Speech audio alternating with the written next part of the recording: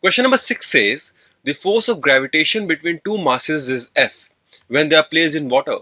If the whole setup of masses is dipped in oil then the new force of gravitation between them will be. It is given that the distance between two masses remains same in two cases. Dear students, the gravitational force between masses is independent of the medium between those masses and hence when the medium is changed that is when the medium is changed from water to oil the force of gravitation remains same which means that for this theoretical question option number 3 is the correct answer.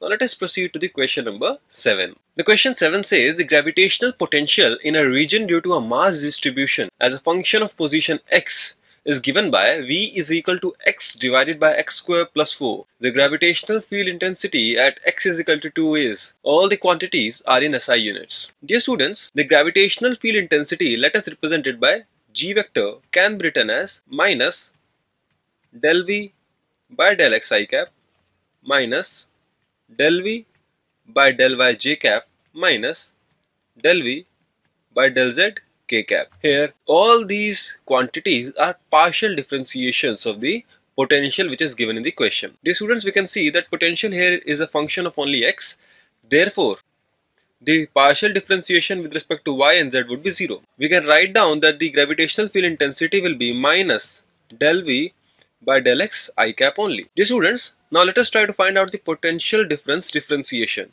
that is del v by del x.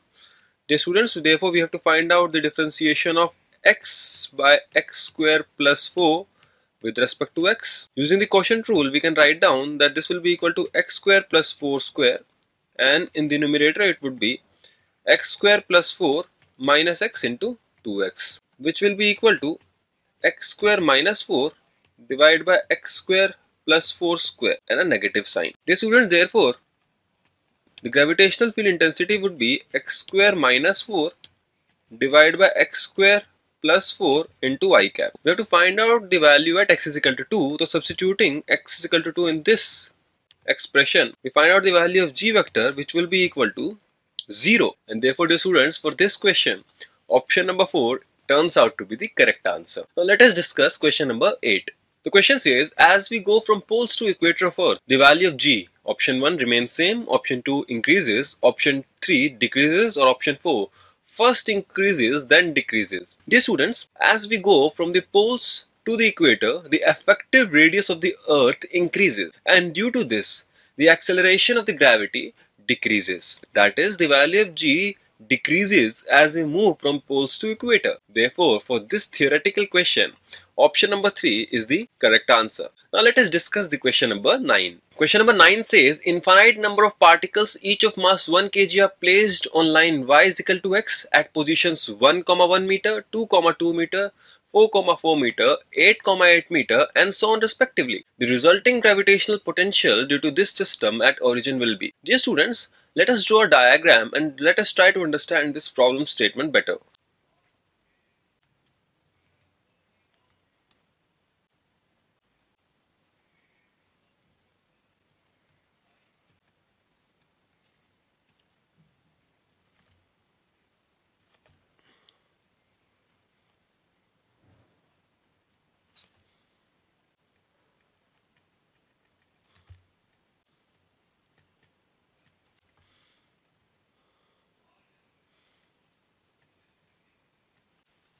Dear students, the diagram here indicates the problem statement.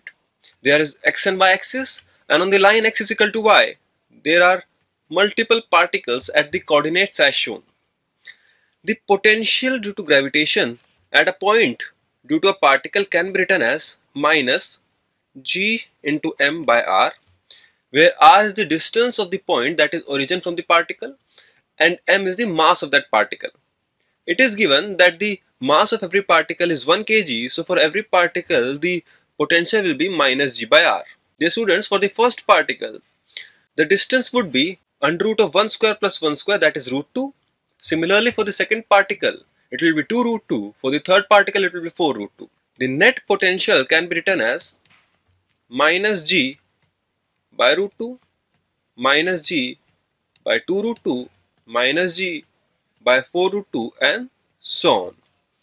We can write down that will be minus g by root 2, 1 plus 1 by 2, plus 1 by 4, plus 1 by 8 and so on. Dear students, this is an infinite converging GP and the summation of this GP will be 1 divided by 1 minus 1 by 2. We have to multiply it by g by root 2 as well and this will be equal to minus root 2 g and hence option number 2 for this question is the correct answer. Now let us proceed to question number 10. Question number 10 says a satellite of mass m is revolving around a planet of mass capital M in a circular orbit of radius capital R.